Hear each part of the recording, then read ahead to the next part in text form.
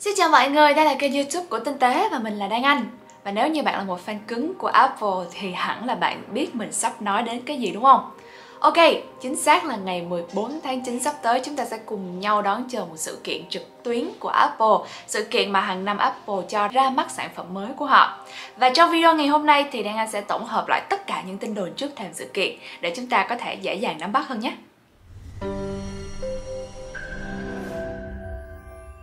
Và sự kiện trực tuyến lần này của Apple vào tháng 9 sẽ có tên là California Streaming vào lúc 10 giờ sáng vào giờ Thái Bình Dương. Và có vẻ như là tất cả mọi người, những fan táo đang đổ dồn sự tập trung và bàn tán nhiều nhất về những mẫu điện thoại iPhone 13 cũng như là chiếc đồng hồ Apple Watch Series 7. Vậy thì bây giờ chúng ta hãy cùng nhau khám phá xem là những tin đồn gần đây chúng ta đã có một cái nhìn như thế nào về sản phẩm mới sắp tới của Apple nhé.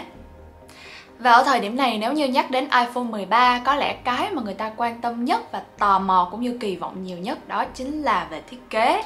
Thì hiện tại iPhone 13 được đồn đoán theo Mark Rumors là sẽ có tổng cộng 4 mẫu và có kích thước giống với lại iPhone 12 và dự kiến là Apple cũng sẽ cho 4 mẫu iPhone này có một thiết kế giống nhau tức là sẽ không có sự phân biệt quá nhiều như dòng iPhone 12 trước đây. Và có lẽ như đang anh dự đoán theo thông tin này thì chắc là chúng ta sẽ có những cái cụm camera giống nhau trên tổng thể 4 mẫu iPhone 13 sắp tới luôn. Nghe đến đây thì chắc hẳn là các bạn fan táo nhưng mà không muốn tốn quá nhiều kinh phí ra để mua một chiếc iPhone thì sẽ vui bởi vì chúng ta hoàn toàn có thể sở hữu được một chiếc iPhone mới với mức giá rẻ nhất nhưng mà có cùng chung thiết kế với những mẫu iPhone 13 với phiên bản đắt tiền hơn. Tất nhiên là kích thước sẽ khác nhưng mà bù lại thì chúng ta vẫn sẽ có một thiết kế giống nhau. Bên cạnh đó, về phần màn hình thì iPhone 13 được đồn đoán và cho rằng là sẽ có tần số quét màn hình lên đến 120Hz và cũng chính vì lẽ đó nhiều tin đồn cũng được suy ra cho rằng là iPhone 13 sắp tới sẽ có dung lượng pin cao hơn. Điều này thì cũng hợp lý và nghe rất dễ hiểu. Nếu như có một tần số quét màn hình cao thì thời lượng pin của iPhone cũng phải được cải thiện để có thể đi đôi và tương xứng với lại cái tính năng mới này. Và tin đồn về dung lượng pin cho những chiếc iPhone 13 sắp tới đến từ một leaker có tên là When In Batch đăng trên Twitter và ngoài ra thì Mark Rumors cũng đã đưa tin về pin của iPhone 13 sắp tới. Mình sẽ liệt kê cho mọi người nghe qua thử nha. Đầu tiên á, thì chúng ta sẽ có mẫu iPhone 13 mini với thời lượng pin tăng thêm khoảng 1 giờ sử dụng. Đây là một điểm rất đáng hoan nghênh bởi vì mình có một người bạn và bạn mình đang sử dụng chiếc iPhone 12 mini. Mọi thứ rất tốt kể cả là việc màn hình nhỏ vẫn vừa sức và phù hợp với lại thói quen sử dụng. Tuy nhiên cái mà không thể chấp nhận được đó chính là dung lượng pin của iPhone 12 mini quá kém và sụt pin rất nhanh. Bên cạnh đó, nếu như chúng ta có một chiếc iPhone 13 mini cải thiện được dung lượng pin hơn 1 giờ này thì là một điều rất đáng để những fan thích xài mini đáng để tâm. Ngoài ra thì về chiếc điện thoại iPhone 13 Pro Max sẽ có dung lượng pin tăng từ 18 đến 20% so với 12 Pro Max. iPhone 13 và iPhone 13 Pro cũng sẽ có viên pin lớn hơn là 10%. Và giống như hồi nãy mình nói đó, với một tần số quét màn hình là 120Hz thì khả năng viên pin được cải thiện thêm là một điều hết sức dễ hiểu. Tiếp theo thì cũng có một tin đồn đi kèm khi mà nói về dung lượng của những chiếc iPhone 13 sắp tới, thì leaker Wenin Batch này anh cũng cho biết thêm nếu như để ở chế độ tiết kiệm pin thì những chiếc iPhone 13 như là iPhone 13 Pro và Pro Max thì sẽ có giữ được tần số quét là 60Hz. Tiếp theo thì chúng ta cũng sẽ có thêm được những tính năng mới được cập nhật với chiếc iPhone 13 này. Và theo tin đồn rò rỉ cho biết thì cũng sẽ có khả năng quay video là Cinematic Portrait. iPhone sẽ sử dụng chống rung điện tử của camera để giữ cho chủ thể quay được ở chính giữa khung hình. Và ngoài ra thì có thêm tính năng chống rung quang học ổn định hơn và cho phép người dùng thêm nhiều hiệu ứng khi quay. Ngoài ra thì một tính năng cũng được cải thiện thêm lần này nữa, đó chính là Night Mode với Night Mode thì điện thoại sẽ tự động nhận diện khi chúng ta chụp bầu trời sao và với việc nhận diện này thì sẽ cho phép sử dụng được thuật toán xử lý hình ảnh, xử lý màu sắc và vùng tối tốt hơn. Và cũng theo Mark Rumors đưa tin đầu tháng 9 này, thì những chiếc iPhone 13 sắp tới sẽ sở hữu con chip là A15 và sẽ chạy 5G nhanh hơn. Ngoài ra thì các mẫu iPhone 13 cũng sẽ có thiết kế notch nhỏ hơn và đây cũng sẽ là một trong những thiết kế tinh chỉnh lớn nhất. Cái này thì anh Hiệp cũng đã có một bài viết tổng hợp nói về thiết kế notch, dự đoán là sẽ nhỏ hơn cho những chiếc iPhone 13. Và bên cạnh đó thì cũng có một vài những tin đồn cho rằng là iPhone 13 sẽ không còn tai thỏ nữa bởi vì một đoạn phim trên TV Plus của Apple Điều này thì anh Hiệp cũng có lý giải là về vấn đề bản quyền cho nên là những cái hình mẫu của những chiếc iPhone 13 khi xuất hiện trên những đoạn phim của Apple TV Plus này sẽ không đúng và không giống như hiện thực. Vậy thì chúng ta cũng không cần phải quá quan tâm với chiếc uh, iPhone 13 được cho là không có tai thỏ xuất hiện trong đoạn phim và có lẽ như là chúng ta sẽ kỳ vọng một chiếc tai thỏ nhỏ hơn vẫn sẽ xuất hiện trên những chiếc iPhone 13 này. Và đó là tất cả những tin đồn về iPhone 13. Ngoài ra thì vừa mới đây tinh tế tụi mình cũng đã có một sự kiện audio stream online cho mọi người có thể cùng vào bàn luận uh, về chiếc iPhone 13 sắp tới. Và đây cũng là một tính năng mới trên tinh tế giống với cái tính năng mà app on mic vậy chúng ta sẽ cùng nhau trò chuyện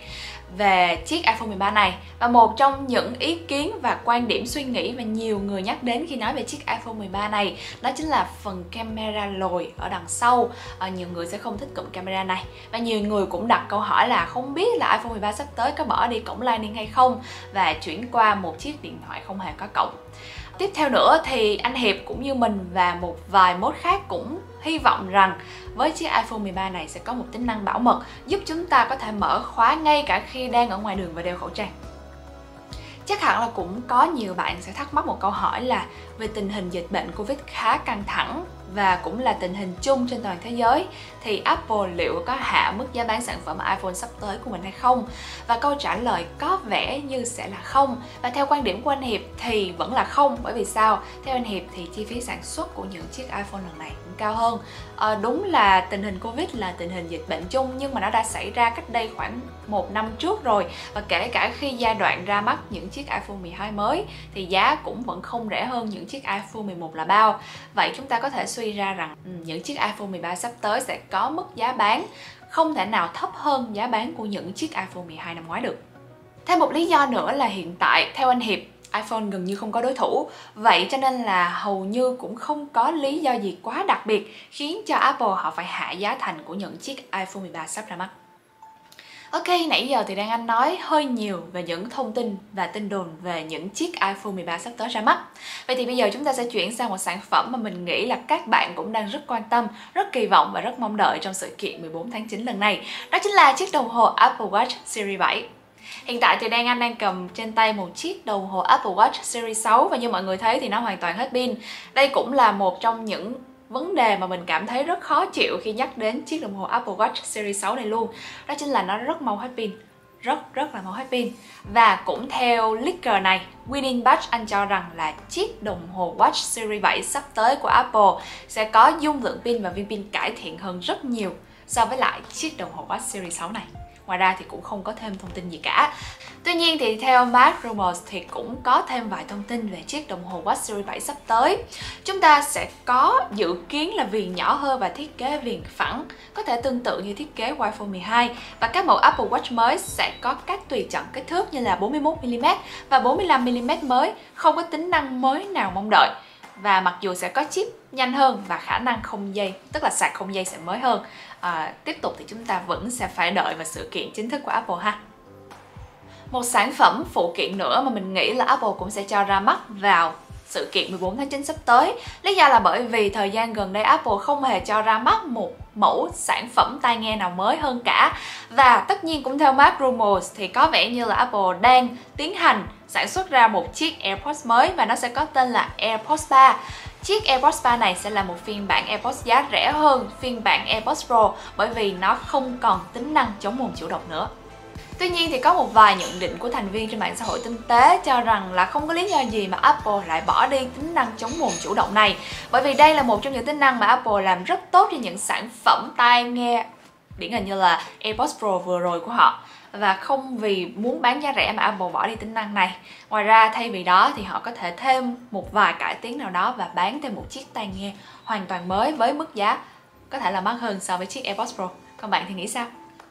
Tuy nhiên thì cũng theo Liquor Winning Batch, anh cho rằng tai nghe sẽ có hộp sạc case lớn hơn, cũng như là viên pin lớn hơn. Cây này sẽ có sạc không dây, chất lượng âm thanh AirPods mới cho rằng cũng tương tự với lại chiếc AirPods 2, nhưng sẽ có cải tiến về bass và giải tầng low end.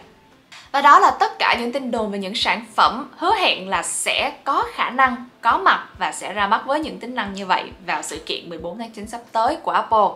Tuy nhiên thì sắp tới đây, vào sự kiện tháng 10 và tháng 11 bởi vì đây cũng là một cái thói quen tổ chức sự kiện của Apple từ trước đến giờ, tức là sau sự kiện tháng 9 thì sẽ có thêm một cái sự kiện phụ vào tháng 10 hoặc là tháng 11 dành cho những chiếc iPad hoặc là MacBook và khả năng cao là Apple sẽ tổ chức một sự kiện mùa thu thứ hai sau sự kiện tháng 9 đôi khi tập trung là vào iPad. Chúng ta sẽ có thể là sẽ có MacBook Pro được mong đợi vào mùa thu năm nay. Một bản cập nhật quan trọng có thể là có sự kiện ha. Rồi chúng ta cũng có khả năng là có một chiếc iPad mini mới sẽ ra mắt vào cuối năm 2021 có tin đồn rằng là nó sẽ có một màn hình lớn hơn từ 8,5 đến 9 inch. iPad mini được làm mới sẽ có cổng Lightning và nếu có màn hình lớn hơn sẽ được thực hiện qua việc giảm kích thước viền hoặc là cũng có thể sử dụng nút nguồn và Touch ID luôn. Chúng ta cũng có khả năng mong đợi một chiếc iPad giá rẻ phát triển thế hệ thứ 9 của iPad giá rẻ với màn hình là 10,2 inch. Và cuối cùng thì chúng ta cũng có khả năng là sẽ có một chiếc Mac mini và Apple thì đang phát triển một phiên bản cao cấp hơn của Mac mini và phiên bản này sẽ có thêm các cổng cũng như là chip silicon mạnh mẽ hơn của Apple. Và đó là tất cả những tin đồn mà Đan Anh muốn tổng hợp cho mọi người trước thềm sự kiện 14 tháng 9 sắp tới với sự kiện California Streaming của Apple. Và các iFan ơi, các bạn đang mong đợi và hào hứng điều gì với những sản phẩm sắp tới? Tính năng nào đáng được kỳ vọng nhất thì cũng đừng quên để lại phía dưới phần bình luận cho Đan Anh cũng như là các thành viên khác trên mạng xã hội tinh tế cùng biết với nha. Còn bây giờ thì xin chào và hẹn gặp lại các bạn. Mọi người nhớ hãy xem livestream cùng tụi mình vào ngày 14 tháng 9 sắp tới trên mạng xã hội tinh tế cũng như là trên YouTube của tinh tế này nhé. Còn bây giờ thì xin chào và hẹn gặp lại. Bye bye!